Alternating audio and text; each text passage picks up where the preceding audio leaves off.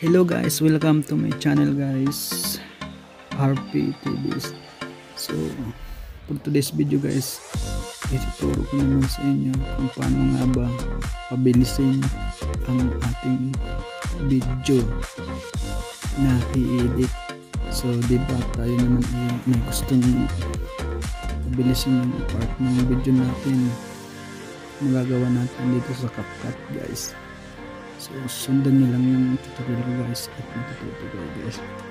So, huwag nyo palang kalimutan mag-subscribe sa channel ko guys at i-click na rin ang notification bell para updated kayo sa mga bagong may upload na video. Share nyo na rin sa mga friends nyo saka thumbs up. So, bawang lahat dapat may CapCut app tayo. So kung wala ka pang CapCut guys, uh, install lang natin sa Play Store. Search natin CapCut. Cap Yan. So ako kasi na-install ko na yan guys. So mag-update naman pala ang CapCut. So install nyo lang guys. Kung install nyo na So, ay, papunta na tayo sa CapCut. So, ayun, meron gusto in-edit yung kanina. So, click natin itong new project.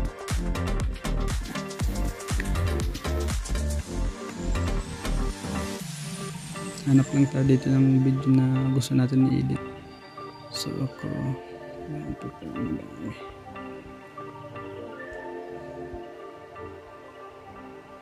ito pa ang dami. ito click, click lang natin itong bilog sa taas. Sa bandang kanan. Ayan bawat isang video. Ayan click natin yung bilog. Ayan. Duwan click natin yung kung ganyan naman yung video mo okay nakabaliktad nakatagilid. Kayang kaya natin yung i-rotate so ganito lang yan guys. Pero kung ang video mo naman ay okay na hindi mas maganda. So ang una natin pupuntahan guys itong format. Yung format na yan. Yan tapos press lang natin. Yan tapos rotate natin. Ang ganyan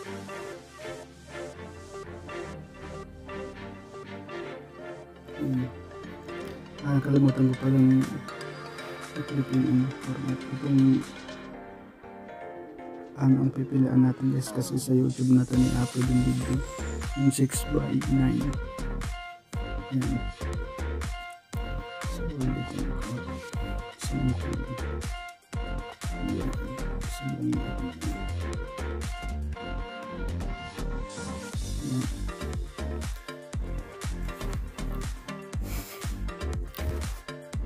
tapos ano natin i-play ay may ano siya. May music siya. Ayun pag record ko pala yung ano. Yung gabing gabi na kaya. May mindset ko. So tanggalin natin yung guys. Ito lang yan click natin yun. Tapos, pilitin natin itong volume. Tapos, save natin. Para save natin. Dalawa, para mag-save ayan. Para mag-save. Tapos, click natin. Dito na tayo guys ah. Play natin ulit.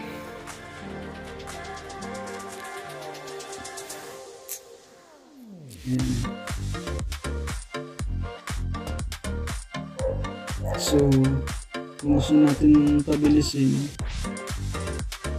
kung saan man na part yan, halimbawa dito, dito sa part nito, no? split lang natin muna guys Ayan, split natin Ayan, tapos click natin ito split natin sa kanan so okay na. Click natin itong split tapos naman dito times 2 times 5 times 2 times 100 so pinakamabilis niya times 100 nagod mo siya natin kaya na sobrang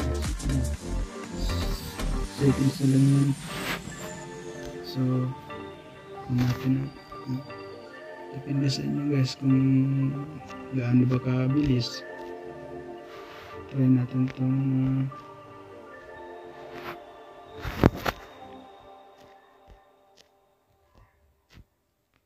dito 5.3 times natin dito mag-umpisa sa ano. Simula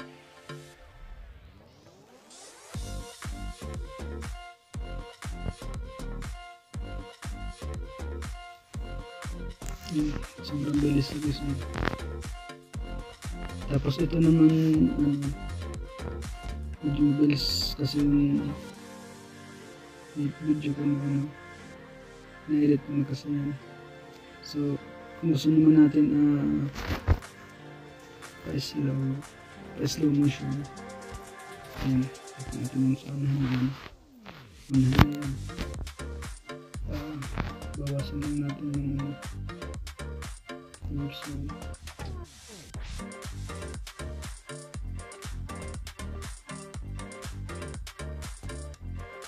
dito na rin sa 0.5 times natin i-play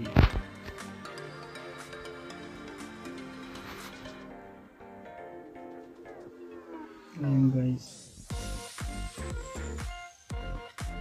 Pwede mo pong ipa-slow motion yung mga sound yun. Ayan.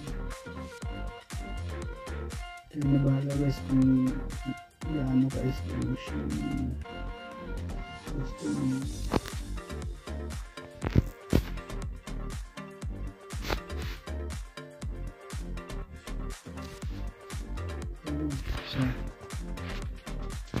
try natin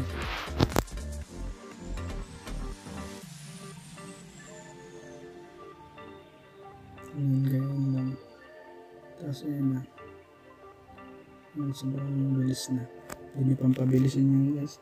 Na rin sa gusto mo. Tapos ito pa lang CapCut na to guys. Uh, i-edit pala natin yan. Para matanggal yan. Watermark na yan. Click natin itong ilong. Ayan.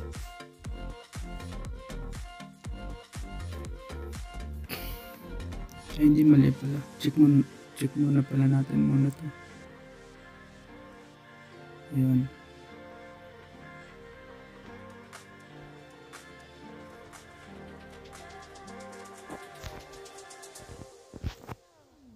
Balik tayo.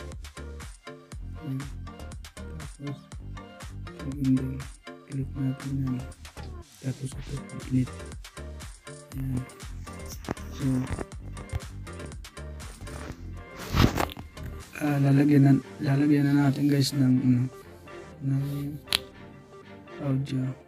Click lang natin yan. Tapos sounds.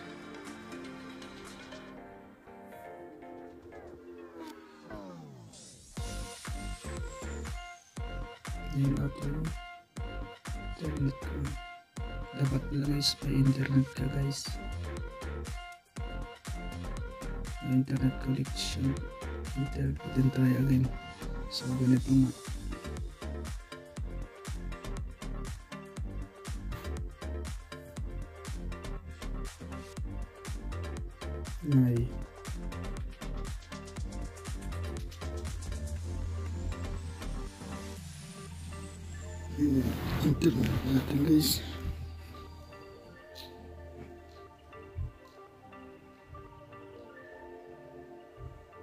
Bakit? Hindi natin natin.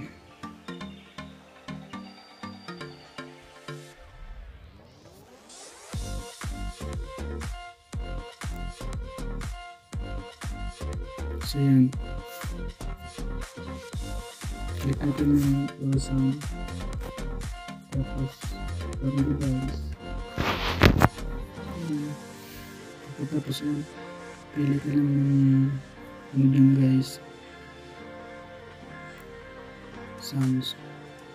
Saglit lang. Pahinaan ko lang yung music. Na naman yung sounds na.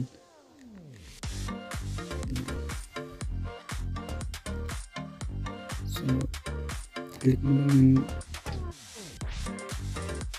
music dyan.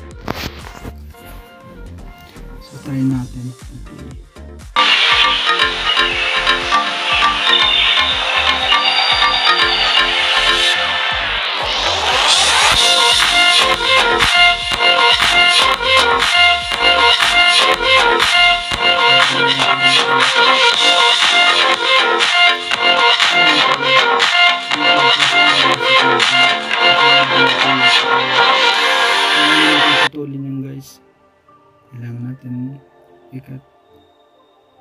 Yan. Kasi pag sinave natin yung kasama yan, hindi haba yung oras natin. Tsaka pangit yung pag ganun. Music na yung ano. Click natin yan. Split muna natin. Yan, tapos click natin dun sa kanan. Nakinat natin. Yan, tapos delete. Yan. Play natin ulit.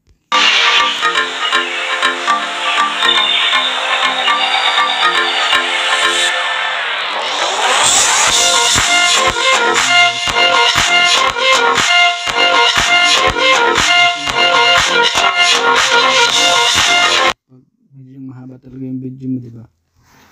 Sobrang haba yung video mo, pabilisin mo na lang para para umikso yung oras, mga mga bis na oras niyan. Mga 8 8 minutes pataas. Kasi di ba doon maganda yung ano mo eh. Kasi makakalagay ka ng mga ad mid-roll. So, huwag pala natin itong kalimutan guys. I-click yung arrow sa taas. Bandang kanan. Yan.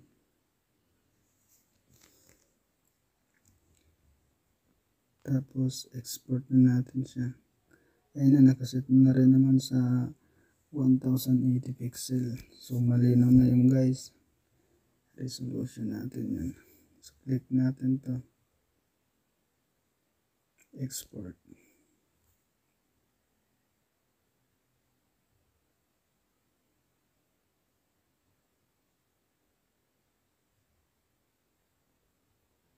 Yan. Done. So, punta tayo sa gallery.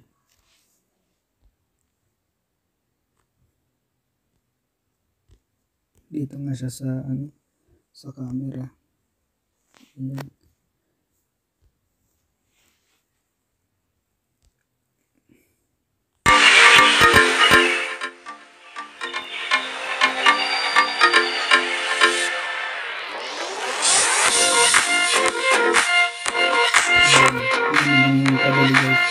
Sana guys may natutunan kayo guys.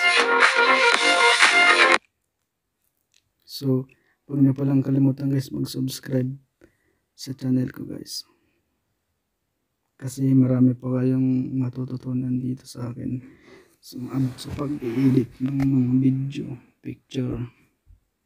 So,